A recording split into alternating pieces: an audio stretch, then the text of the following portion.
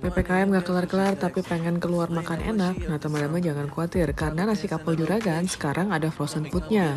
Ini ada beberapa varian rasa yang bisa kamu pesan dan langsung dikirim ke kota kamu.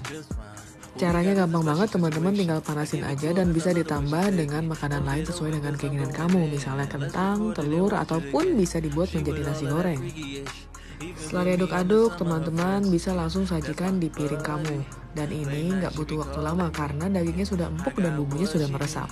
Ini bisa menjadi menu pilihan pada saat kamu sedang isoman sekarang ini.